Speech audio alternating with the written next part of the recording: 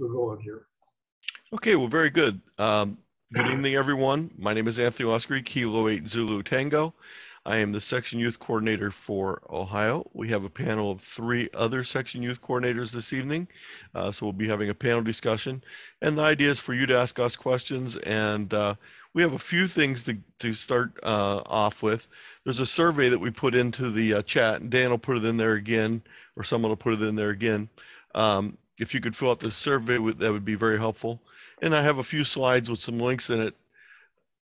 Uh, the slides are available, and I also put that in the chat, and I'll put it in there again at at tiny.cc slash rpsyc. And you might say, well, why would I need that? Well, there's some links in here that you might find useful. And my email contact information. The panelists tonight, uh, I'll let them introduce themselves a little bit later, but these are our panelists for this evening. And the survey link. So I just thought about this since last week. We got together on on Monday evening, and I was thinking about, you know, what are six to ten things that I really would want to emphasize over and over again when I'm talking about youth. So I just put these all together in one slide. But the whole idea, when I'm thinking about my interaction with youth as a section youth coordinator, it's a, a positive exposure to amateur radio, integration with existing programs uh, being flexible, nimble, and professional. Um, getting all the ages, five to two to 25, I'm going to consider youth. Uh, something to take home, fun activities, and if you license, you must mentor and always use safety. So let's just look at these real quick. And I'll try not to be too long with this, but number one goal is always exposure in my case. Whenever I'm working with a group of youth, that's my number one goal. Things that happen after that, depend on the kids that I'm exposing and what their reaction to the exposure is. I know that when I was that age, all I needed was someone to tell me what amateur radio was and how to do it, and I would have jumped in with both feet, but I didn't know someone. So I always like to use exposure as the first key, and then the people that are interested sort of flow to the top. One of the things to do when you're doing exposure, though, is to avoid the jargon, the ham speak, the techno babble, etc. It's a good way to turn people off and scare them away. Integrating with existing programs. Schools integrate with lessons uh, with an amateur radio slant that fits into the current curriculum so that you're doing things that they're already doing, but with an amateur radio flair to them.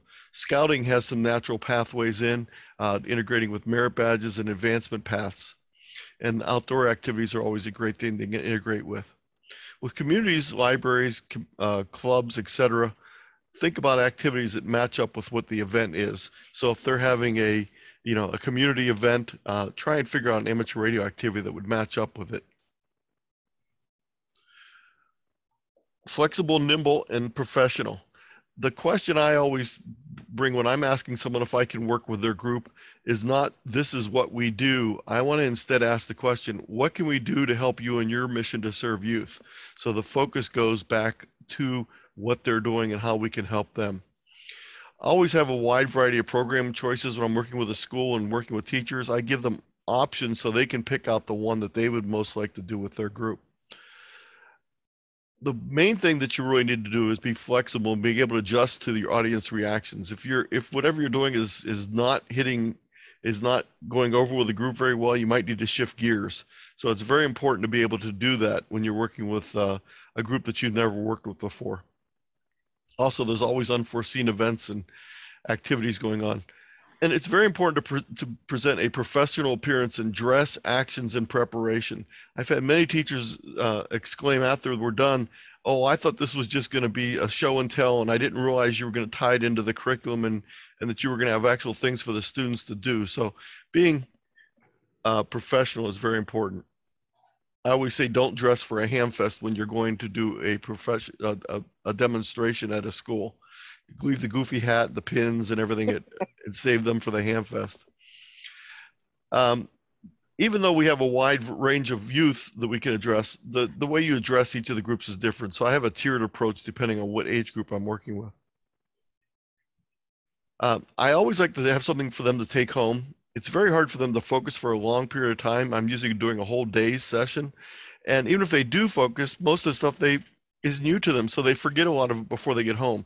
So I like to have something that they can take home with them, whether it's written materials, uh, the comic book series. I quite, quite often use the, the ICOM comic book series, uh, whether it's a craft, we make uh, clothespin keys sometimes, or a trinket, or um, online resources that they can have. And I'll talk a little bit about how you can have handouts that work are much more effective than paper handouts where people at a public event can scan the information into their phone so that it actually gets home instead of laying on the floor of their car and get eat by the dog. Um, and I always provide items to the teachers ahead of time and afterward both, so that there's follow-up items available. I like to hopefully make the activities fun but remember, what is fun for you may not be fun for the students. I don't understand why anyone wouldn't find amateur radio just like one of the most fun things in the world. But that's not the case with everyone. So you need to be able to have uh, some planning. Things that they can do themselves. I found that on online software defined radios are a really big portion of my in school presentations now because the kids are tuning them themselves. and things that they do for fun. So I like to include act- outdoor activities, things in the form of a game, uh, video screens, competition, making things are all fun things. If you license, you must mentor. I think quite often when we think about youth involvement, we focus way too much on licensing and not enough on exposure and mentoring. Uh, the licensing is is a rather artificial step in the whole process, and taking a group of 30 uh, students in a class and forcing them to go through a licensing process and pass the exam, yeah, they'll get their call signs, but they're sort of what I call zombie licensees. Uh, they don't make contacts uh, except for when you're there. Um, they drop out quickly. They're not going to be lifetime hams. So you can waste a lot of energy uh, getting a whole group of students licensed that are not going to go beyond that. So if you are going to, I suggest you focus more on a smaller group of more interested students and you provide strong mentoring opportunities, chances for them to get on the air. Think about involving them in your local club's activities. There's no reason they couldn't you couldn't have them do field day, fox hunts, other activities with your local club. Public service events. And finally, the last thing I the, the last point is always follow youth safety guidelines. There's a great set available from a number of organizations out there, including the Boy Scouts has a free course that you can take but remember this, and also remember when you're working with your local club, not everyone in your local club is a prime candidate to work with youth. So sometimes you just have to ask people not to be involved. Always get parent and teacher buy-in in the process. I have a whole presentation. It's 115 slides or some ridiculous amount, and it's available at this link, tiny.cc slash YIAR. By the way, this is my grandson, Aaron. He started uh, sixth grade today. Wow. Holden, I'm sorry, my son is Aaron. My wife just yelled from the other room, that's Holden. That's my grandson. and he started fifth grade, not sixth grade. I just got all corrected on everything. Um, this is the handout that I use quite often, and this is great. You can even laminate these and not have individual paper copies. Each one has a, a QR code so that if you're doing this at a public service event, um, like a, or a county fair or something like that, instead of having a bunch of paper that just gets lost, have them actually shoot the QR codes with their their phone, and that way they actually go home with them. And the nice thing is, some of these they can actually use on their phone, such as the online software defined radios, which is what uh, Holden was uh, doing in the one other picture that I have. I don't have that picture here. Um, I also have a thing on my website with information. So this tiny.cc slash HYR gives you this two-sided handout that you can print out. Uh, Martha was uh, nice enough to add a number of links that I have in here, and I'll just uh, show you that there's three slides with Martha's links, and uh, she has some good photos here that are very good uh, activity photos, including some ARISS contacts and two videos. So those are available. So this link for this little short presentation is available at tiny.cc slash rpsyc. And now we'll go ahead and we'll let our panelists introduce themselves, and we'll start with Martha. Uh, we went by, we'll put them in order by state here. So Martha is in Georgia. I'll let you go ahead, Martha, and I'll stop my screen share. Alrighty. Um, as you can see, my name is Martha Muir, uh, W4MSA. Uh, I was a teacher for many years. I retired just before the pandemic hit. Um, and I uh, was a physical science teacher the final years of my career and incorporated ham radio a little bit into my physical science. But I also was very fortunate to have a class called ACE, which was a STEM enrichment class. And we did ham radio as part of our STEM enrichment. And um, my take on ham radio is not necessarily to make my students ham radio operators, but to entice them into the fun things that ham radio offers them to hopefully lead them into a college study course of study in a STEM area and hopefully a career in a STEM field. That's my ultimate goal. As a section youth coordinator, when uh, my uh, section manager asked me to do this, he said he wants me to reach out to teachers and try to help them bring ham radio things into the classroom and reach out to students, see what their interest is in ham radio and and hopefully get them involved. And that's what I do. Uh, my take is is quite different from Anthony's. Um, what I seem to enjoy to do is, you know, find a group that is interested in doing some ham radio type things, and then find a local club that is willing to work with that group to develop their interests. Uh, one of the, the areas that I do, I'm involved in the ARISS program, Amateur Radio on the International Space Station. Uh, my school was fortunate to be able to have an ARISS contact in 2013, and then very, very, very incredibly fortunate we got another one in 2018. They are magic. They're you know lifetime memorable activities for everybody involved.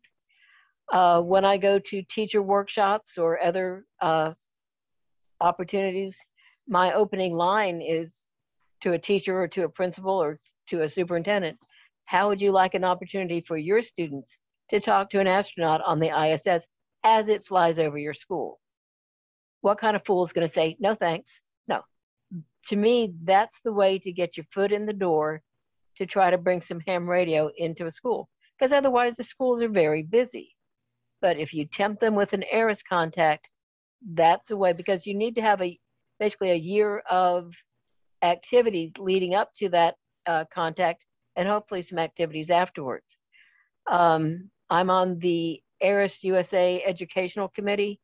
I'm an ARISS Educational Ambassador, which means I'm assigned to a school or an entity that is granted an ARISS contact and work with them to develop um, their educational plan. And I'm also the secretary of the ARISS International Group. So I'm involved in ARISS. Um, the links that I that uh, Anthony has put together. Those are uh, some photos of some of the events that uh, I've been involved with. Uh, we did did things um, for the Atlanta Maker Faire, the Atlanta Science Festivals, and again helping other groups with their ARISS contacts. And I, I am definitely the beneficiary of the North Fulton Amateur Radio League they came in, they worked with their, my students a whole lot, established great friendships. And after a while, they started inviting my students to go with them to other schools to do ham radio things. And that was such an empowering thing for my students. And if you want, I can tell you why. Um, so I don't do the youth coordination thing that Anthony does, but I do my own. And I think that's okay. We don't have to do it the same. And Martha, I think that's one thing I that I don't think a lot of the people realize is the section youth coordinator spends a lot of time working with other educators, not just with youth. Yep. And I think that's quite often a misunderstood aspect. A lot of times I'll get people saying, "Well, I have some youth I want you to work with," and really, what I want to say, what I need to say to them is, "How can I help you work with them?"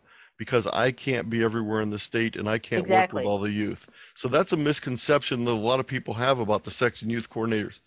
But another thing that Martha brought up is very true is we all have different styles and we we work we focus uh, in on different main uh, focuses within our things. Um, our next speaker is going to be Barry. I'm sorry, Eric. I'm sorry, Eric uh, from Maryland. So Eric, you want to go ahead and introduce yourself, and I'll go ahead and un uh, share my screen here. Yes, thanks, Anthony. Um, I don't have any slides. I just want to kind of go through some of the things that I've done. Um, Anthony has a tremendous program I remember seeing some of his presentations up at Dayton or at uh, Xenia, and it was definitely great to see it there. So um, I'm kind of hopefully learning from him and can build on some of the things that he's done. Uh, but that though is I'm the section youth coordinator. I'm uh, I, I used to work for FEMA and I worked for the chief technology officer. So understanding how emergency communications and all that kind of works together um, and how the information is being passed has really been a big change that's going on right now, especially with some of the things they call like I call it direct sensing, where we're getting more. A lot of people call it the 5G, and also what they call IoT, which I think is maybe not the best term out there used. But um, so there's a lot of things that kids are doing right now that they really have a good understanding of what radio does and radio has. So with that, some of the programs that we've done in our section is uh, we were very fortunate. We had a one of our teachers uh, from our local high school actually went to the Teachers Institute and came back and contacted our, myself. And so with that, I was able to present to her school. And then also with their STEM program, they have called a job shadowing. And so we had four different stations set up. One was just on basic electronics. One was on propagation, so space weather. Uh, we had one on soldering one on making communications problem, the ham shack, and one on more of like um, they call uh, uh, like um, uh, direction finding, so fox hunting. They all love the soldering. They all love the hands-on stuff. Um, like you said, Anthony, before, make sure you coordinate. Um, the facility we used had a refrigerator full of sodas, and they sold them for 50 cents a can. One kid had a $20 bill, so he bought everybody a soda. And then we got a call from the school saying, oh, parents were upset that kids got sodas. So we, then we had to just, you know, cut it off. So coordinating those things you might think um, is not a big issue, but can be. Um, so with the facility we've used there. Um, so we've done that. Um, right now, we're working with the STEM program at the, that high school, and we're trying to raise the money to buy every student a small FM receiving that they can build little kit. You can buy these from China for about eight or nine dollars. Um, has the headphones, has the battery, everything's there. Um, very few parts to add in there. And so we're working to try to get the funding together from some of the ham clubs in the area that will provide every student, they'll build their own FM receiver and then have a transmitter that was built by a couple of the other students so they could actually have their own radio station. And the teachers were very interested in that. Um, other programs, like you said, we had used uh, Boy Scouts. Very, you know, very. We did we did invite one troop out to our a field day from our local ham club, and they enjoyed it because they just showed up. We had a program set up. They were all, you know, they could work on their merit badge. We were able to make contacts. Um, so they were very happy to work with that. Another group that we've also worked with, uh, like Girl Scouts and Civil Air Patrol, we've had some interest in, but never seemed to able to get follow through from them on coming out and running a program with that. But Civil Air Patrol, I think, is another area that we could expand into from that. Um, and then um, on uh, September 1st, I'm actually presenting at the local library uh, for ham radio. So. Well, Eric, I, I have to agree with you on the fact that the students I've worked with always love soldering. That's been one of their top two favorite items. Fox hunting and soldering always seem to be near the top. So our next uh, our next uh, panelist will be Barry from Nevada. Well, hi, Anthony, and uh, great to be with Eric and Martha and uh, lots of great people. Can you hear me okay today? Yes. Great, great. So um, I probably have a slightly different variation than the others, and that's what's so great that Anthony and Martha and Eric say. Everybody's every youth coordinator does it a little different. So I've been a ham for 48 and a half years. I was 17 when I was a young kid and uh, took off thereafter. And I would love to do the, well, let me explain it, and then I would love to do that uh, poll. Can we do the poll there? Uh, do you have that set up on the system? Okay. So let me just say that uh, before I get started, uh, there's nobody after me. Is that right? As far as in, the fourth person isn't here today? You're on mute, Anthony. You're Not mute. hearing you, Anthony. Say again, Anthony. You're on I'm mute. sorry, I was muted. I, I don't see Colin, so yes. Uh, so after you're done, then we're going to open up the questions. Good. I won't use the whole time, but I just want to know. So, um, you know, I, I've been doing this informal poll, and we're going to do it uh, on Zoom here in a moment. Um, but the informal poll is uh, uh, question is, you know, what got you into ham radio originally? And before I tell you the results of it, why don't we run the poll because this is a very fascinating. When we were doing a little prep work a couple days ago, um, we put it together. So Anthony, I think you're gonna you're gonna run it here. Yes, I'm going to put the link in here again for people that have not done it, and they can do it. So I'm going to go ahead and share the Oh, screen. it's not on. share- It's, it's not. It's not on Zoom. It's on the. It's on the other one. Yeah, I it's on the it's on the survey, and I have the I have the live results. So I put the link in there, so you can go ahead and click on that. Okay. And I'm going to bring up the results to show on the screen. Yeah. So so uh, can you make it a little bit bigger so we can see the um, Yes, I'm doing that right now. Little bit? Great. Okay. So the question is, what age were you? And so we have um, a pretty big smattering. Forty percent was seven to eleven. Uh, we have a small amount under seven, and you can see it. So this is a more accurate thing. Mine has just been the question of what got you involved. And if you scroll down a little bit, um, people read a magazine, they follow scout leader and Boy Scouts, grandparents involved in other kinds of radio, um, CB, a friend of mine in college. Uh, here's a good one. Dad was a ham operator. His was in the basement. So you can read about these. So here's this is showing what, what I've experienced, and that is somewhere early on, people get it get um, the seedlings get dropped. Now, whether they get their ham license or not when they're a kid, that's kind of a slightly different story. But those early on experiences, what gets people in the ham radio, regardless. And the way I came up with this original thought was a number of years ago, we had a ham fest here in Reno, Nevada.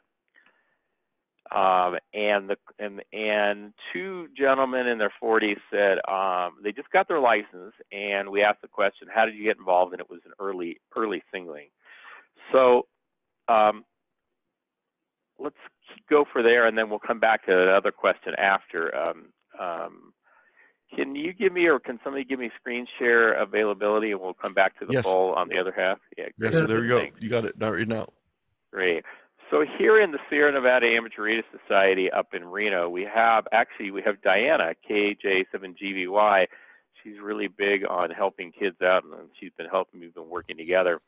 So we've been doing this through the local ham club. This is the pr- premier ham club uh, in Nevada. Nevada is made up of a, a little over three million people.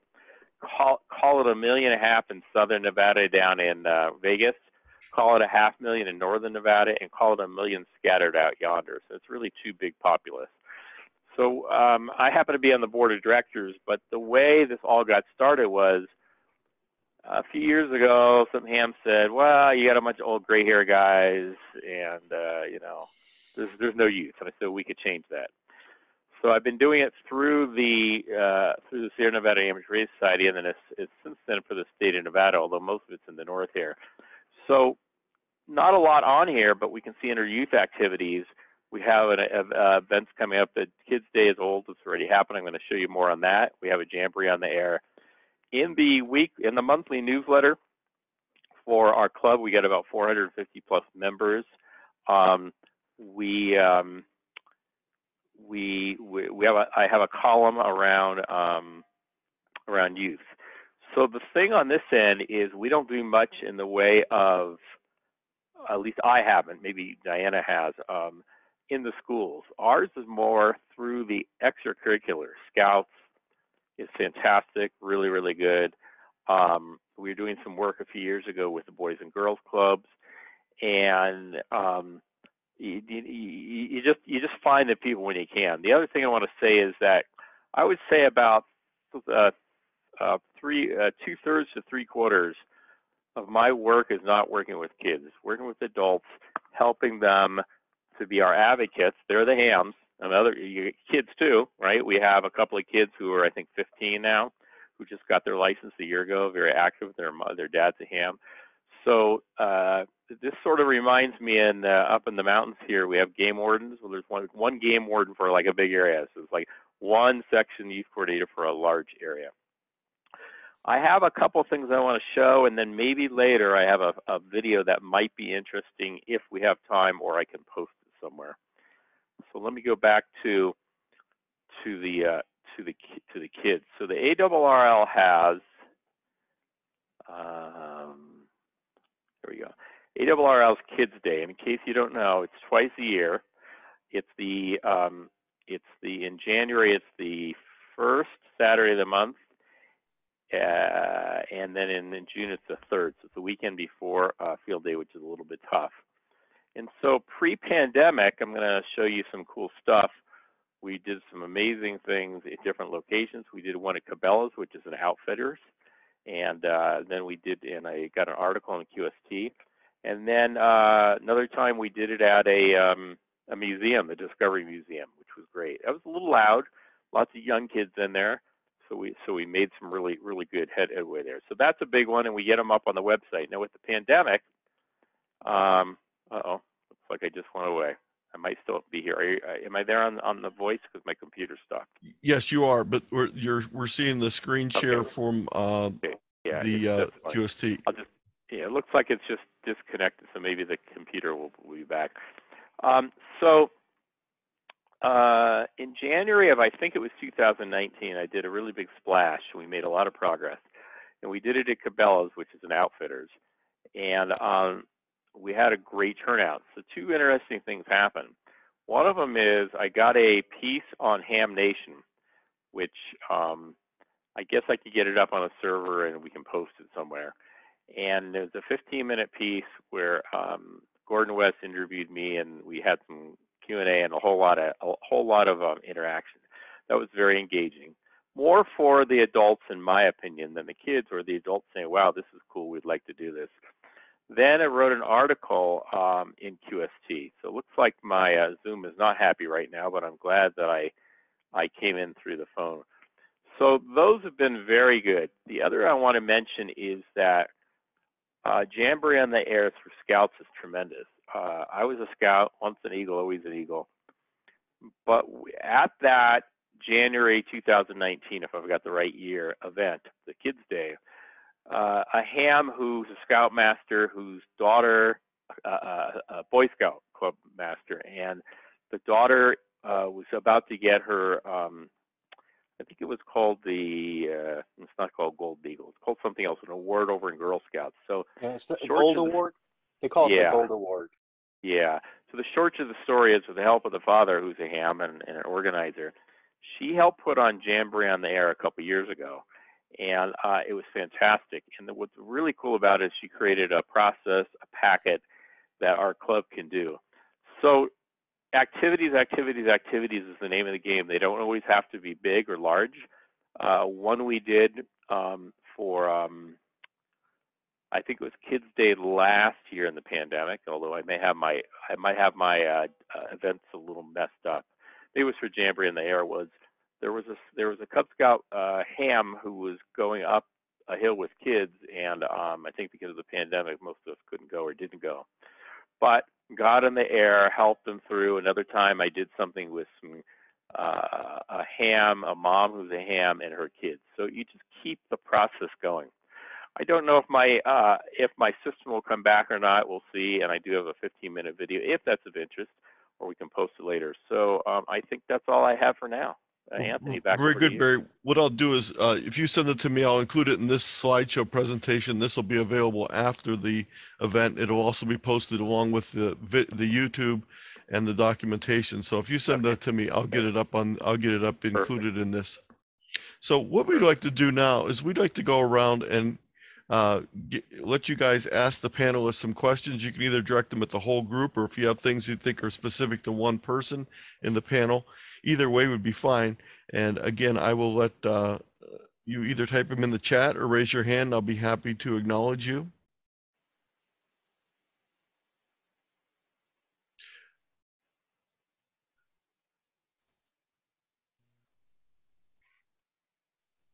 And um, while we're waiting for that, uh, in the survey, um, when we ask how many people have interacted with their section youth coordinator, 50% of the people said they had not.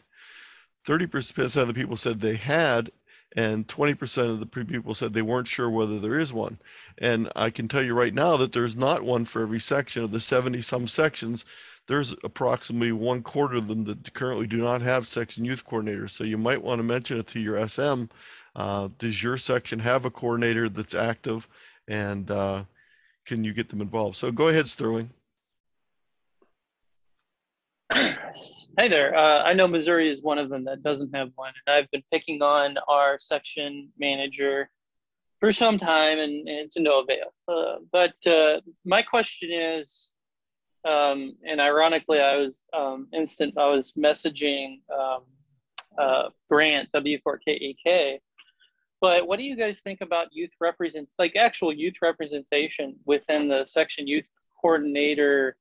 like architecture or framework. So what I noticed is that the, the section youth coordination system is, is ran by, um, you know, for lack of a better term, uh, gray hairs and, and older people, right? And, and I've always thought, you know, when I came into the hobby some number of years ago, I heard, oh, section youth coordinators, that means it's younger people. And there have been young, uh, younger uh, youth coordinators, but generally it's, you know, older people, but uh, who you know have experience and and are very effective. You know it's not to say that that's a bad thing. But uh, what do you think? What's your what's your guys' opinions on on that? Well i'm going to go think? ahead and i'm going to go ahead and yeah, answer first on that sterling. Um, i think that's a great idea and we've actually added an assistant youth uh, section youth assistant section youth coordinator i have a, a young lady who's just starting eighth grade this year and Katie Campbell. She was going to be here tonight, but it's her first night of band camp, so she was not able to be one of the panelists. But I think it's a great idea. And I think one of the problems is the whole idea of not having youth coordinators, a, a big problem in a section, but just having one person to handle a whole section as youth coordinator, for me, at least in a section as, with as many groups as Ohio, is, overwhelming. So I think it needs to be more of an organization. I think that's a great way to bring in both older and younger people into that role. But I'll let the other panelists go ahead. Well, Martha here, I have an opinion. Um, I would hate to be the one selecting the youth, the young person to be that. Because you know, sometimes I go places and I'm introduced to a young person who's a really dynamic ham. And then I'm introduced to another young person, really dynamic ham.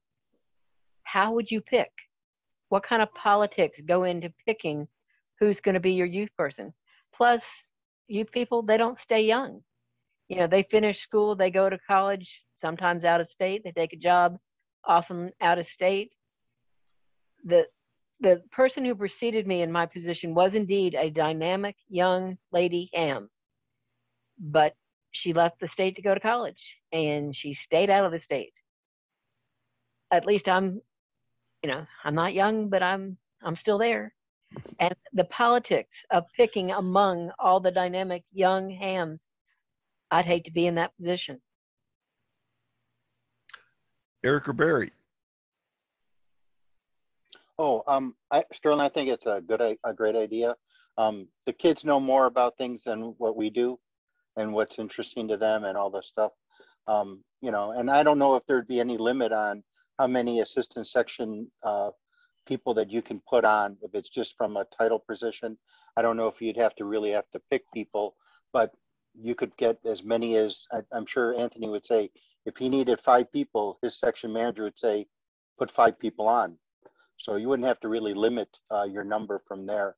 So that might be there. But then again, you do have the issue of aging out and going forward. So, and a lot of the schools right now, the kids are so busy uh, with all the extracurricular uh, extracurricular activities they have to do, uh, plus with all the, the way that they are providing the instruction right now, it, it might be very hard to find any candidates for that. Barry? Yeah, I'm back on uh, videos, but I, I, might not be linked if you can uh, spotlight me or whatever.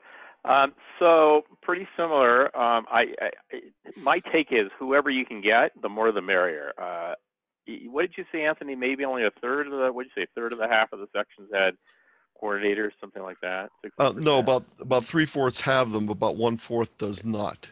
Yeah, but so uh, that's part. It's part of it. Part of it is how big is the area? How much can you do? Um, I, I like the idea of having the younger kids. One of the issues not good or bad, is they will get older and they'll leave. We have this going on over at University of Nevada, Reno. it's a college here. Some people come as a freshman, some come partway through. And uh, you know, if I if we can get them in there for about a year or two, and they don't have to be hams to be a, to be in the club. Um, I think there is advantages for both older and younger. You get different perspectives. I think the older people. oh, can you hear me? Okay, I heard. No. Yes. Yeah, the older. I think the older-ish people maybe have better, maybe have better organizational skills and will be around. Maybe, but the younger, more dynamic. I think you probably need a hybrid.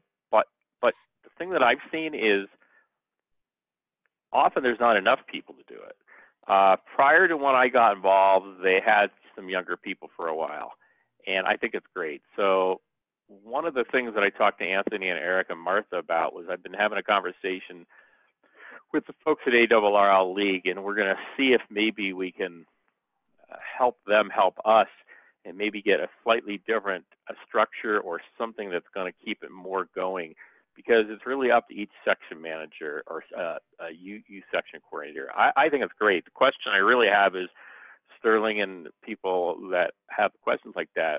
What do you think of going to the and then fill in the blank, the section youth coordinator or the section manager and saying, hey, I want to help. Where can I help? Where can I help? How can I help? And, and see where it goes from there. Yeah, and if I may, um, you all have like really good points. Um, as a, a current president of a club for young amateurs, Young Amateurs Radio Club, all of the talk about selection and having to deal with people getting older, and, and a former president of, of W0 Triple E, a University Radio Club at, at Missouri S&T. Yeah, people come and go. Um, one of the easiest ways to disenfranchise a young person is to get them involved in like some of the sausage making, if you will. um, um, but yeah, uh, it, but some of the assistantships might be actually really interesting for some young hams to actually develop kind of a pseudo, not a career, if you will, but like kind of a um, kind of a career, you know, some or some sort in uh, in the amateur radio scene. Um, but yeah. Uh, I mean that that's a person I would go to, but for for for help, if you know I was somebody who wanted to you know start a school radio club, that's probably one of the first people I would ask. Uh, but knowing what I know and having worked in the, I guess in the system and and worked around the system for some time, um, and and having been having acted as sort of a a youth coordinator myself, not an official one, but I'm a youth liaison for the region two, IARU region two, and I've done all sorts of you know hodgepodge stuff. Um, the and and you've alluded to it too. The youth coordination system has like had had it had it has had its hits hits and misses over the years. So hopefully, like you got guys kind of get a a better picture of what the ARRL and and how it you know is organized, but you know, with everyone bringing a, a new thing or their own way of running it is good, but also like what's the overarching architecture and, and, and plan and you know how how does the league um, you know want things to be run and, and what is what do they have in mind in terms of like youth advocacy and, and engagement and that sort of stuff but it's kind of a rhetorical question so great okay, so we have we have a question from diane uh, KJ7 uh, GVY. I'm sorry. Go ahead, Barry. Yeah, I, just want to make, make I just want to make one, one quick comment. My, I mean, I have a perspective, and it's not about are you older, younger, or where are you on the ladder. This is just a it's a flat field organization. It's it's it's the question of what. Here's what I know: on an all volunteer organization, the way you get paid is not through money. So you get paid through, and then you fill in the blank: enjoyment, some value in your life, commitment, uh, something. So it, it's I, I don't think I don't think it's a structure issue as much as a who can get in and help out when you have the time because our lives change all the time. That's that's the thing. I think it's great that many different people can get involved. Okay, thanks for letting me hop that in there, Anthony. So we yeah, have uh, we have two questions. We'll go ahead and go to Diane first, then we'll come back to Michael. Uh, Diane asked, during COVID restrictions, how have youth integrated online formats for ham radio oriented activities? Well, I can speak a little bit first. Uh, we uh, did, I did some of my youth, normal youth activities that I would do in person via Google Classroom uh, with teachers. It took a little more planning and it was also a group of teachers I had worked with before. So it, it, that worked out very well and the section went great. Also, we're now teaching our local amateur radio classes that our local club teaches online with the goal of making them more inviting for students and more likely for a student to be able to attend because they don't have to travel and there's no problem with that. So we're trying to make our, our tech classes in the future all have a hybrid model where we both do in person and direct or just uh, online. So uh, that's one thing. So maybe we can hear from other the other uh, SYCs about this.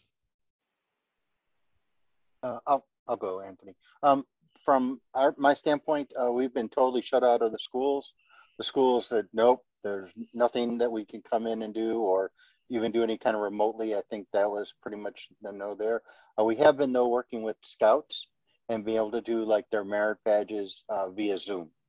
So we've done those. Uh, electronics merit badge a little bit hard because they have to, have to build a project, uh, but we set up a Survey Monkey, had them come in over a, a whole Saturday, just four at a time, and built their projects with them. We spread out in a room and, and got them to do that. But yeah, COVID really has um, put a lot of restrictions in and still are uh, keeping a lot of the restrictions and a lot of the programs that we'd like to do with the high school and uh, schools. Um, uh, still waiting to get those in place. Um, if there's no other other responses, we'll go to Michael, KC6MEH. Go ahead and unmute Michael. Okay. Hi, everyone. Um, I was thinking of launching a Pico balloon for our troop. Has any of you done it? What do you think? Is it uh... not not hearing you? A, a what for your troop? He, he the question was he's thinking about launching a Pico balloon. I'm uh, one of the micro balloons um, Eric, we, I'm sorry, Michael, we, I was talking right before the meeting started tonight because our local club uh, members had done that in uh, late May, early June, and it's still up and circling around. So it has been an interesting activity, um, but there's a lot of things that you could get the students involved in the process because it's not just a matter of launching the balloon. There's the whole idea of calculating the amount of hydrogen used, uh, pre-inflation, stretching, launching, uh, the electronics involved in it. So there are a lot of things involved that could be a good project. Um, I think, Martha, have you done anything with balloons at all? I witnessed a few, but I was going to say, uh, Michael, um, try to look up Joanne Michaels. She's, I think she's out in the LA area and she does balloon launches with her students.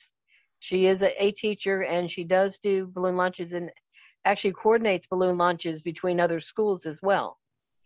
So um, hopefully you can make contact with her and she will be your expert. And there's really a couple different kinds of balloon launches. There's balloon launches that are recoverable, uh, short distance launches. There are these ones, the one I'm talking about is up at 40,000 feet and we'll never see it again because it's circled Earth a couple times. Um, I can't remember Mike's last name now, but uh, he's from Michigan. He was, the, he's a principal at a school in Michigan. His group does the balloons that they launch and they go a couple counties away. They track them and recover them. They have video in them. So there, that that type of activity is very popular. So there's multiple types of balloon activities out there. And I think we had a presentation in one of the previous RATPACs on some of these. So uh, there's some in the list of the RATPAC presentations. Uh, Barry, uh, yeah, yeah I want to answer that a kind of a hybrid way. Uh, I want to partially answer this and answer the prior question about COVID. So I actually have never heard of a Pico balloon. So I'm like, wow, I learned something new. And then I get together with somebody else part of this is learning from other people and bringing in technology or bringing in pieces. So having never done it, I might lean on one of somebody else to help us help them. Um, if there's somebody physically that can come that's local, that's even better. If not, maybe we do a planning session on Zoom and bring it in. And at the same to token, um, on the COVID thing, so during the summer months, the non-winter months where it's too cold or rainy or windy, um, we tend to do more stuff outside, which makes it a little bit easier for COVID. Um, one thing that uh, we've done is a um, uh, what's it called? A fox hunt which is pretty conducive outside, particularly if you're separated or you have masks or things like that. The other is that shy of getting together in person, some of this stuff we can find videos and do kind of a tabletop classroom kind of thing. So you kind of make it work when when when you can. You try to get the kids involved and the adults too as soon as you can in in some in some event. But I've never I've never never done the Pico, so learned something new today. So we have a, another question from Michael. Is anyone using computer science and radio digital in their youth programs? Maybe Michael, you might want to unmute and uh, give us a little more detail on what on the question. Uh, roger that. Uh, we're uh, in our uh, clubs, when we have five clubs in our area that are supporting youth programs, um, we've tried to combine, we are combining computer science with uh, application digital radio. And, um, and really this is for middle school uh, youth. And it, uh, the youth today seem to be more involved in uh, in the computer and radio being an adjutant to the computer for communication. So um, we have found that that's pretty receptive uh, to a number of the teachers in our public school system. Yeah, that's so interesting because uh, most of these HTs, a lot of the radios I have, at some level is a computer with an RF board in it, right? So um, being able to use things, I haven't done this, but be able to use things like DMR or or FT8 or computer related things, I think people pe- people can get can can get into that. The other is the software defined radios. I just bought a small little SDR the other day, and uh, I, I think the I think the piece is finding somebody in the school in the area that is willing to take it on, knows something about radio, or is willing to take it on. What, do you think would be the thing that would have people go, "Yeah, I want to do that," Michael? Well, the traditional uh, has been fox hunting, uh, you know, for the games aspect. Of we've done balloon launches for high school and the first two years in college in the physics department here. Um, computer computer science additional uh, education has uh, been involved. Uh, someone brought up the idea or provide a kit have a club provide a kit, and I think that's an excellent idea uh, for the youth to put that together. Um, and uh, I, correct me if I'm wrong, I did hear that's inexpensive, not prohibitive, because uh, I would have to drum the funds to buy those radios, uh, those kits. We did ninety. We did ninety nine cent and a dollar ninety nine kits uh, that we purchased a bunch of on eBay uh, so you can do it really cheap. Uh, can you provide, uh, is there a way you can provide us with uh, the information to do that? I have some information in my uh, full slideshow, the one that's listed in that uh, presentation. I also put Okay. the, uh, I'll put the link in the chat here for that slideshow presentation again. Good. Uh, Wanna- but yeah, go ahead, Barry. I just want to say I want to mention one thing about kits. It's not the kit. It part of it is the age group. So uh, when we did uh, one of the events over at I can't think where, uh, we had actually a lot of really young kids, maybe maybe, maybe under eight. So in that case, instead of an electronic kit, it was more of a little flash card with a little beeper thing Yes. that they put together. So if you look at maybe the educational curve of a human being, including a kid, all the way from super developmental through past college, you know, I think there's different things at different ages, at different slots.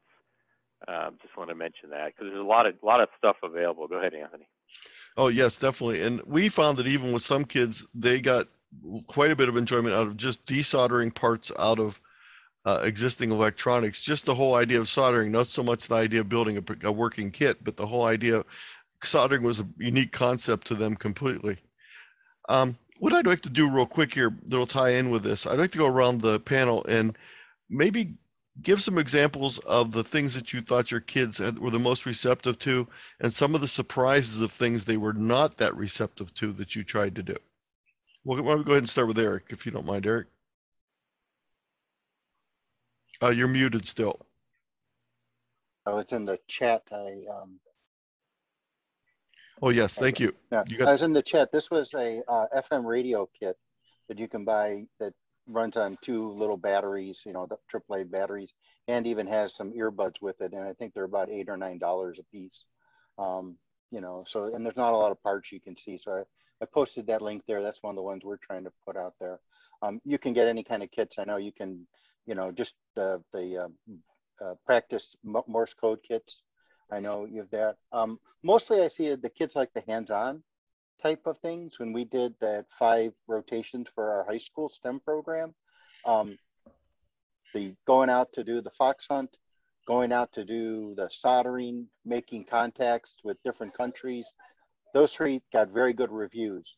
Um, the space weather, I think, was totally just went over their heads. They no interest at all. Um, they didn't want to kind of do the lecture, so they liked the hands-on part. And the soldering was just soldering a wire, you know, teaching them about different types of connect, you know, uh, Western Union splices or pigtail splice, things like that that they probably don't even, you know, would know about, and then be able to put together and solder that. Uh, so they had a little something to take home, a little piece of wire that they had soldered. Um, so Martha, how about your hits and misses that you found with when you've interacted with kids? Well, I was thinking of uh, my ACE class, my STEM enrichment class. Um, the students that I was working with at, at my last school were basically special needs, but realized that's a broad spectrum. Uh, my students were high functioning students who had some learning challenges, such as dyslexia or ADD, ADHD, etc. Um, but one thing that really resonated with a lot of them is Fldigi. I had a friend come in and work with them on doing Fldigi, so much so that a couple of them actually spoke at the uh, youth forum up at, at Dayton one year and were telling folks about Fldigi. And I will tell you why that was sort of important for especially one of them. One of the students that I worked with had a speaking issue, did not speak well when there was any kind of nerves going up, which unfortunately was most of the time. But people didn't have to listen to him speaking on Fldigi. He could chat as much as anybody else via Fldigi, and he loved it. So much so, one of the um, events that the North Fulton Club invited my students to go help them with was a STEM night at another high school. And uh, there were some of the older hams there doing various things. And one of my students, this student that I was just talking about, was in charge of demonstrating Fldigi. And he sat with people time after time after time, demonstrating Fldigi to them. And I don't know, 20, 30 minutes into the thing, he had no speaking issue at all. He was so comfortable doing what he was doing, totally no speaking issues. And we all witnessed this, and his mother came up eventually and saw him, no speaking issues. You know, that that that's a miracle. I love that. So um, some kids loved the Morse code, some did not. Um, it you know you, you basically offer a spectrum and, and figure out what they like. Barry, what what type of hits and misses have you found? Boy, boy, I love. Thanks. Yeah, thanks, uh, Martha. I had a little bit of speaking, whatever impediment way back when, and I, I I get it because when I when I get into something I like, all that goes away. Yeah. So um, something hands-on. Now, for some people, it's soldering. For some of them, it's getting them on the air. The, the one, the, the two that I've seen, and it, it is hit and miss, is some of the kids like Morse code. Uh, we've done there's these Morse code. Um, if you can even find them, they don't make them new anymore. Uh, the Scout buzzer thing. It's a buzz and a light, and it's got that. And they like learning it and learning learning their names. So one uh, how to say their name in Morse code. So one of our guys got together with them ahead of time at one of the kids' day and showed them they could send it back and forth. So I think the answer is enough to get them interested, but not so much to put them over the edge. One of the things I think we do as not necessarily adults, but people that have been doing the hobby for a while, is we have all this knowledge, so therefore we want to literally vomit on somebody, and I think you have to make it make make it smaller. The other thing uh, we did something at the Boys and Girls Club, and this was mind blowing. So this group was hand selected—about 15 people that were mostly from age 12 to 15. The older ones kind of were in the I want to get out of here and go do something else. But the younger to middle aged ones were really engaged. And one of the things that happened is these two girls that knew each other, they were friends. When they realized one could stand here with an HT on simplex and another person could be down away and talk to each other, they got connected. So for what I think that is is it's human dynamic with the kids with other kids. The bomb, which is surprising, is some kids have mic fright. We all have mic fright, or we get on the air and I don't know what to say. So you got to somehow get them out of the mic fright into the the vocabulary or, or whatever they do. But when they're with other kids, maybe around the world, like there's the YOTA group, which you can probably talk of, uh, Tony or Anthony, uh, and they see other kids, they they kind of melt and they go, oh wow, it's okay. Well, you know, it's uh, we didn't practice this, but I can really agree with a couple of the statements but the the panel has made. With Martha's statement, I I used to go into this one school every year in, in sixth grade and work do the radio day for a whole day, and one of the activities was Morse code. And I noticed the one year when I did it, one of the one of the students who was in the special ed class uh, just excelled at it. He just loved it. And when I did it the next year, I noticed when it came time to do the CW, he magically appeared in the class. The teacher had remembered this and sent him back to the class. He had told this teacher afterward this is the first time he ever thought he was the best at his class at doing something. Excellent. And it, when you see that happen, it's just so remarkable and so so rewarding. The other thing that uh, soldering has been popular, fox hunts have been popular. The thing that is, I think, has been the biggest bomb and the least popular is voice contacts on the air unless it's in one of the two following circumstances. A, it's a contest, or B, it's other youth. And that's why school roundup is good because it's both of those. But otherwise, they would much rather make an FT8 contact. They'd much, much rather make some sort of other digital contact than they would a voice contact. They'd rather do Morse code than they would. So the, I what, think. What was the B? It dropped out of this end. The A. The, what was the B? Oh, uh, the, the the, if it's uh if it's other kids or if it's a contest. Yeah. They, Yeah. they really like, and I think if you are going to do contesting, which is hard to do with schools because most of it takes place on the weekdays, I mean on the weekends, and, and most time you're working with the kids on the weekend. But if you use the on score on uh, online scoreboard so they can actually see it as a sporting event and start thinking of it that way, it really increases their interest in it. So those are the two ways I found. But again, the the the idea of operating digital to them appeals a lot more because they could pick up their phone and talk anytime.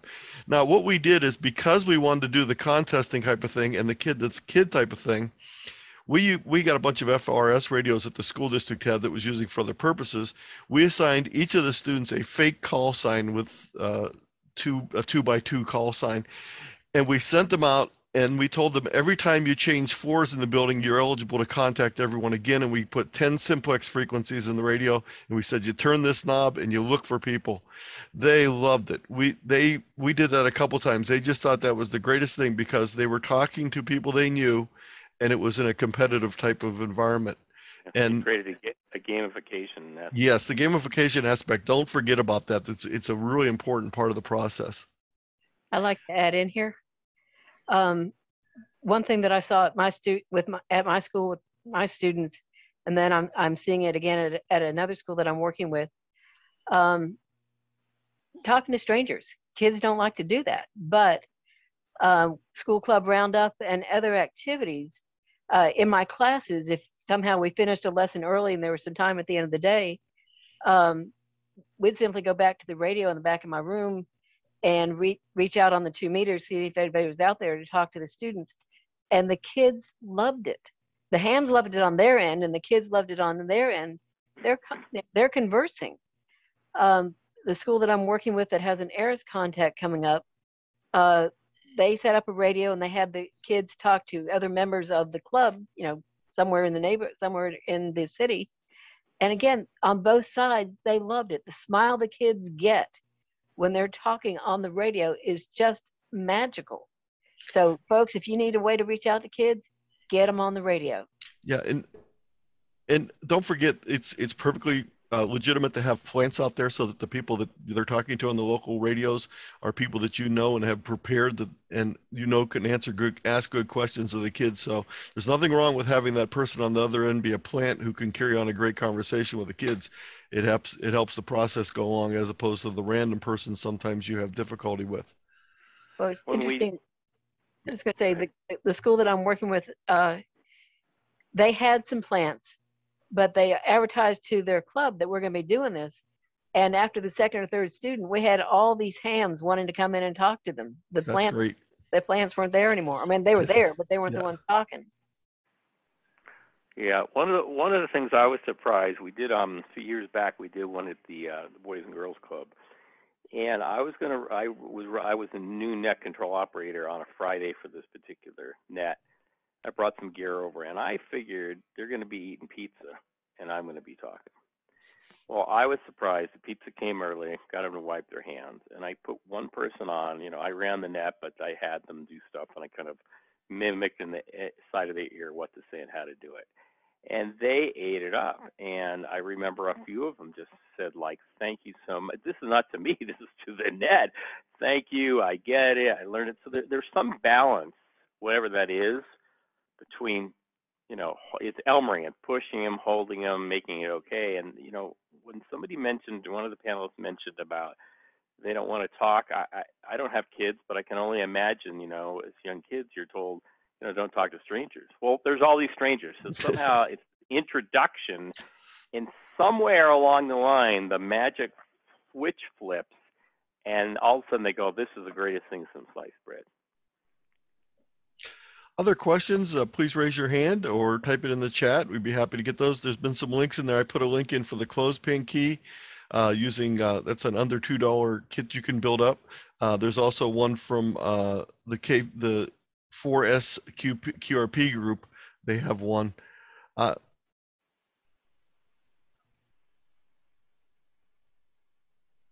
okay, so other questions, please raise your hand. Comments, complaints? I might make a comment here. Yes. I don't do my, okay, there I am. Uh, for those that don't know, after this uh, session, after every session, I do a follow-up email. It will include a link to this video you're watching tonight, this presentation. I also include everything that's been put into the chat. So if you don't get it, uh, you'll get another chance when it comes to you. You can copy that out. Uh, so anyway, just so you know, it's coming. If you if you miss something tonight, you'll you'll be coming in the mail probably by tomorrow. Well, if there's no further questions, I'd like to thank our panelists very much for uh, for coming here, and I'll see if they have any closing thoughts before we. Yeah, I so have we'll one other. I was on mute. I have Yes. one other piece I wanted to Go right ahead, talk- Barry. Sorry. Uh, there, there's something I just want to explore this with y'all because uh, there's something that I hear from uh, adult hams, older adult hams, and I'm not sure I buy this, so I'm I'm really curious. I hear the following statement: Why would a kid want to get on ham radio? They they can talk to anybody in the world on their cell phone, and the computer, and I don't think that's accurate. I do think what's accurate is if they haven't been exposed to it, they don't know what it is. So I, I'm just, I mean, I hear this and, and I'm curious what people think about that comment. And if you have- ever heard something like. Okay, so I- I'll chime in on that. I sent an email to uh, a guy that does QSO today because that is a regular comment on his podcast. Love his podcast. Love the guy. Love it. Love his uh, Hamfest. Um, but it is absolutely not true. I've said it time and time again. They cannot pick up their phone and call anybody anywhere in the world. They absolutely cannot. Challenge them to do it. Pick up your phone and call I somebody think, I think the in the world technology. you so can go you you, can get on and go CQ CQ Japan. And if you got the the radio and the antenna, you can talk to somebody in Japan. And if you and if you got DMR, you can do it Yeah. immediately. I think, I think what you may be saying is the technology is available for the kids to do it, but the structure, the platform, the, the, the, the social con- context isn't there, I think is what you're saying, something like that. Yeah, blow blow their mind. Get on DMR and, and talk to somebody in Japan. Yeah. I have had that conversation. Um, one of my students asked, Why do we need a ham radio if I've got it on my cell phone? I said, fine. Basically, last week in the school club roundup, one of my hams reached somebody down in Montserrat and talked to him. You pick up your phone and you do that. you know, even Wasn't just happen. You know, even just when I use the online software defined radios, I- found a couple things. One is a lot of students aren't used to tuning a radio, so they found that very intriguing Right. to begin with. And and the fact that they, you know, what I do is I give them, I have, I put that quick start guide in the chat. But I, what I do is I give them instructions, and they have their own Chromebook or they have their phone or whatever they're using, and I let them. I give them a couple, and then every once in a while I yell out a couple frequencies to them where I've heard people, so they're not just you know getting dead air but the fact that they were able to tune and then they of course went off exploring other frequencies and they found other things and they were very just as intrigued as i was with my three tube regenerative receiver back in 1970 um, or 69 whatever year it was and but the whole idea is they've never really tuned a radio.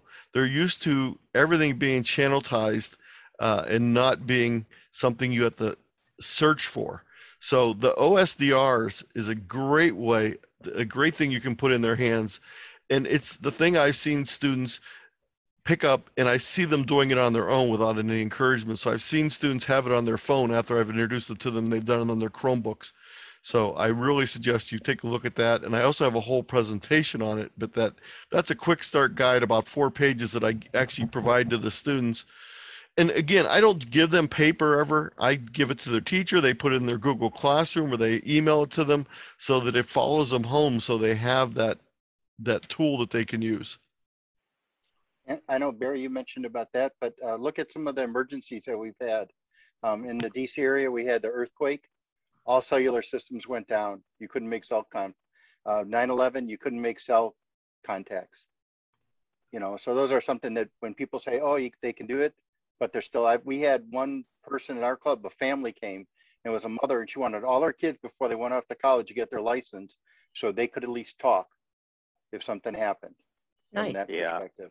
So if we run Right. into that. So the other thing I'd like Right. to say is that um, I was just at a VE testing session. I know we were talking about youth tonight, but we had a woman who was 91 years old, sat and got her tech license. So I think you can say it's never too young and it's never too old to get your license. That is so good. My dad, who's since long gone, um, he was 80 when he got his license. Yeah, I, I'm glad we had this conversation because I suspect that this is not an accurate conver- uh, thing that we're saying, right? That that you can just pick it up. I think that I think at some level, and I make this story up, you know, people that have been around for a while and say that as as like a barrage or a reason not to work with youth or something because I don't think that's true. The when I've worked with youth and you get the magic of ham radio, whatever that is, you know, they go, "Wow." I think Barry gets to giving them understanding of the technology. You know, when we when I was growing up, at least, you understood how a, a you know a, a, a combustion car worked with the gas and how it gets sprayed in. I bet you ask kids now today, how does that carburetor work? You know, what's fuel injection? They just put they know to put gas in it and that's it. They know to plug their charger phone and that's it. They don't understand what the technology is. And I think that's something to get them to understand is what the technology that they're basing all this upon so that if something does go wrong, they have an understanding of what they're doing. Well, thank you all. Uh, appreciate you coming to the to the panel discussion. And always, you're always welcome back to RATPAC. We have uh, sessions all, the time coming up, and we'd love to have you. Uh, please, this link will be available at, at the RATPAC uh, uh, website and on the RATPAC list. Please share this with anyone else you know who might be interested in youth involvement in amateur radio. I'll turn it back over to Dan. All right, thank you. This has been very enlightening to me, and I'm sure a lot of you. I've learned a lot of things. A lot of stuff comes to my mind. Uh, one of the things we've tossed around in another arena with youth was a, a space program where we were teaching. I see um, Bruce has got his hand up. Bruce, go ahead, and I'll, I'll finish up after you talk. Yeah, just a, just a quick question. Are we going to get the results of the poll before we hang up? Yes, and actually, I'm going to put it right in the chat so you can Oh, all. we need, yeah, that second part of the poll about the youth. That's I- good, I- Bruce.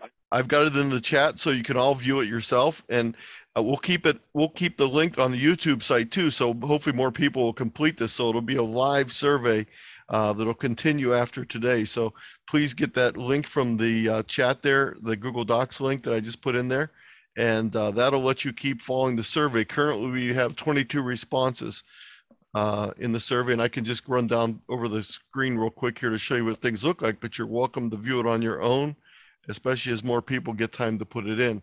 So it looks like the vast majority, the, the largest number by far was the 12 to 15 year old group, but the second largest group was the over 30 group. So you notice that there seems to be a sweet spot between 12 and 15 that goes away for a few years and doesn't reappear until th- till over 30. So that's maybe the spot we want to do a lot of our focus on that 12 to 15 year old age group. Uh, some more comments here that, that were added. Um, you can read through all these on your own. It's much easier to do that. Um, we even have more people that are not sure if there's a section coordinator, section youth coordinator in their district than we had earlier, in their section than earlier. And um, as far as recruiting people, uh, about 68% of the people said they recruit both youth and adults. Um, I, uh, only uh, one person said they do not do any recruiting. So as a group, we tend to be recruiting and evan- evangelistic amateur radio operators. And uh, I'll let you guys again read the comments on your own because that'll be much more effective. Hey, Anthony, go back up to the one that has the 30% of the third age 30, because I want to make a comment about, Yes. about that. It, it dawned on me there's a, you know, uh, when you outreach to people, you think you're outreaching to them, and you, maybe you're outreaching to them and they're outreaching to somebody else. So, an interesting thing about that 30 age, you know, everybody has kids, but somewhere in that 30 age plus, those kids will start having kids at some point, right? And so, so from a demographic, so maybe it's a second time to like expose them, and then they they work with their kids as they grow up. Yes, we've had a number of times where we have had a student come back later to get his license. They've often came with a parent who's also gotten their license at the same time.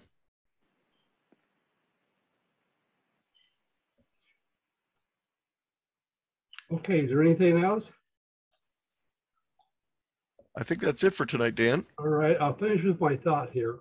One of the thoughts I have, would there be a value to the folks here and, and the, the present, uh, you, you, uh, people doing this presentation tonight, if we could come up with a means of doing something like, uh, uh, a youth thing along this line to entice people using online, YouTube, like we're doing right in YouTube, uh, um, Zoom, like we're doing right now, on, on a national level. In other words, uh, there's a lot of places, especially in the rural areas and small places like that, that don't have the opportunities.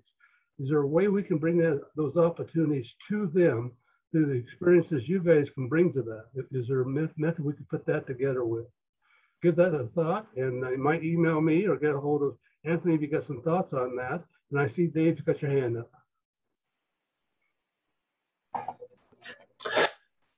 Uh, yeah, my question was, uh, are there any recommendations for uh, doing a booth at a fair?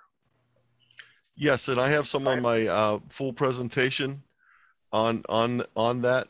The thing I want to just caution you about though on doing that, just make sure you're aware of what your audience is going to be like because um, you can get lost in the shuffle very easy easily, and you can put a lot of effort into it. Um, and it's not quite the same type of effort that you want to do when you're working with a smaller group. So you have to be uh, the thing I found the most part is that ability to take home the information. So that scannable uh, QR code type of thing, because you don't really get a chance to sit them down and have them e- explain things in great detail. It's much more of a passing audience. So uh, I've had opportunities before, and I found it actually less useful to yet less useful less useful to expand my energy that way than to work with smaller groups of teachers. Um, I think the make, I think the Maker Faire. This uh, are you talking about a county fair? What kind of fair are you talking about, Dave? Uh, well, it's a it's a fair that they have every year here in Kamiah. Uh, it's a more or less of appreciation day for all the uh, vendors, all the business owners, and everything else. They've been doing it for like 80 years. I'm not sure how many, but uh, and everybody gets together and they have food booths and they have uh, raffles and uh, a lot of vendors, and it's just kind of a walk by thing, parades. Yeah. We we did one here in Reno a couple times before COVID called Kids on Big Rigs. Or a big rig is like a big semi or a fire truck. It was put together by somebody else, and so we've had we've been there twice pre-COVID. Uh, the younger kids have fun, but that doesn't stick. The the slightly middle-aged older kids it sticks. There is that issue Tony uh, Anthony talked about, just how much time do you have? The one area that I've seen pretty good success is a Maker Faire. So it you know it depends where they are. If you can follow up with them, give them something or get their name or follow up and invite them back. That that's where the magic happens. I think. How many how many people come to the fair? Uh, well, we get them from all over the state of Idaho for this one fair with people that have grown up here. Uh, they usually come back for their high school reunions and everything else, and they bring their kids, and it's a it's a pretty big deal. Uh, COVID shut it down last year, but it looks like we're going to go through with it again. Go through with it this year. Uh, so it's just, you know, we've lost quite a few vendors for it, but we're going to see how it goes. Dave, um, we've had two um, that we've done uh, historically in our area. Uh, one is the National Night Out, uh, which was just a few weeks ago. And then, of course, next month is Preparedness Month. So, working with like the county EMA, they usually do a lot of outreach. Um, they had a prepared, they usually, they were running a preparedness fair. Of course, they scaled it down for this year. But those two have been very much, uh, we've supported in the past and got a lot of interest. Okay. Yeah, I'm working with one of the uh, uh, emergency managers, and uh, I'm trying to find out how he has written a few thing a few things a few years ago, and it's called 52 Weeks of Preparedness, and it's a really nice article, but there's just no way we can print that many copies of it. I mean, it's about 100 pages, and you only get 500 pages in a ream. Dave, so I'm trying to trying Dave, to find a way we can put a link to it so they can uh, use a QR code and put it on their phone. Yeah, the, that, that, I found that that's the best way to do it is use QR codes. And by the way, if you want a really simple, easy QR code generator, you can actually do them right in Google Sheets. There's a formula that actually generates a QR code from a URL. Okay, QR code generator. Yes. And what was it? Uh, you can do it in Google Sheets, or there's also a number of them online that you can use. You just simply put in the, the URL you want to use. I do a combination of two things. I do the QR codes plus a tiny CC uh, thing so they could actually, the people that don't have a phone with them could jot it down or they would be able to remember it. Uh, because you could, with that, you get to choose a customized HTML. It's going to start, so that one that I used for the presentation tonight, that tiny.cc slash RPSYC, was an example of doing that. And there's other URL shorteners out there, but it also lets you generate QR codes. So it's both a thing that they could actually type in if they wanted to or write down, but then they also have the QR code. And I find that much better than handing out the paper. I think more of it gets home and more people can find it after the fact, and you don't have the expense of doing all the paper printing. And also, it means you're not going to run out. Yeah, that's a big thing. Yeah, and it's it just gets real expensive when you're printing, you know, yeah. paper and ink. So uh, after a while, those sheets that I had, uh, I just laminate them and then I have them out so that people can access them. Okay, the lamination doesn't uh, bother reading the no. QR codes at all. No, they're pretty they're pretty durable, and actually, if you make them large enough, they can shoot them from many many feet away. Uh, a lot of times when I'm doing a slide presentation, uh, I'll put QR codes up on the slideshow and people in the whole audience can shoot them with their phones, no problem. Sounds like a great idea. Can I call you if I have problems? Absolutely. Uh, okay, that's about all I have. I really do appreciate the information. This has been a real good presentation all the way around. This was Anthony's idea and it's a great one. I'd like to see it come back and do some more like this. I love your idea, Dan, of doing something on a national basis.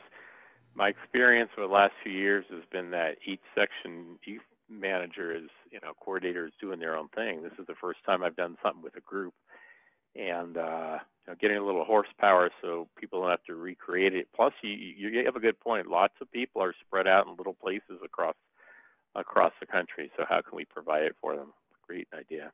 That, that's a good a good thing. And I, I think we need to find a way of organizing it and such. There's a lot of spin-offs that come from that. Not only can we help the youth across the country on a national basis and get them involved with each other and they can talk to each other on radio or whatever, they become friends and yeah, yeah, yeah. Uh, it's a learning process, but it's also a great tool for the teachers, just like tonight. Uh, you guys are learning a lot. I certainly learned a lot. Uh, so give us some thought. Um, maybe, uh, I don't know, we'll, we'll pick on Anthony. He can, you can fire ideas at Anthony there. We can work together through uh, RATPAC and see if we can make something like that happen if that's something you like to do. Great idea. You know, the friendship piece is so is such a big a big uh, component. There was an article, there was something on the news which I found out of Sacramento, and I live in Reno, so not too far from here. Somehow made the news about um, a ham in I don't know Oregon or Washington and a ham in Sacramento and, and it wasn't over the radio, but because of their radio connection, one person called another one day, thought he missed dial. His wife is a nurse, figured out that he was having a stroke, and blah blah blah. It, there's something about people helping people, Elmering, helping, connecting, cajoling, practicing together. That I mean, in all the years, that's the thing that I remember more than the technology. You know in this environment, what I like about it, it's a two-way street. You have a mentor thing, and the mentor expects to speak, and the, and the student expects to learn. In this environment, it's a two-way thing. The students are expected to speak as well, and the instructors are expected to learn.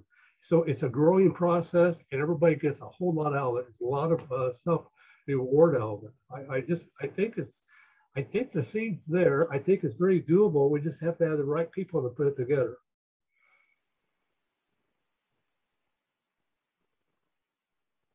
All right, is there anything else out there? Well, again, guys, this has been great. A beautiful presentation. I'm, Anthony, thank you again for coming up with this idea. This has been great. We have to do something like this more. Um, I think that the, this is the kind of stuff that moves youth uh, education and the whole program. And I say youth, that's not an age thing. you know, uh, there's people in their 90s that are youth, but it's a, it moves it forward. And that's what we need. And getting people's minds uh, uh, working together to make it happen, I love it. That's what this is all about. Well, with that, unless we have some more comments or or um, questions, okay, Anthony, go ahead. I just have one quick one. I'd like to thank Eric, Martha, and Barry again. Not only did they come tonight, but they also spent about an hour with me practicing on Monday night, and we went over some things. So they really put some effort into this, and I really appreciate it. Yes, everybody did a great job tonight. Everybody did. Anthony, I always learn from you. So anytime I can get some time on the Zoom with you, I always feel it's worth it. Thank we you. all learn from Anthony. He has been a, a godsend, so to speak, uh, to the organization here. Okay, gentlemen, ladies, it's been great. Appreciate you coming and very informative, very informative. I'll pull the plug here and say 73 is everybody. I hope to be hearing from you again. 73.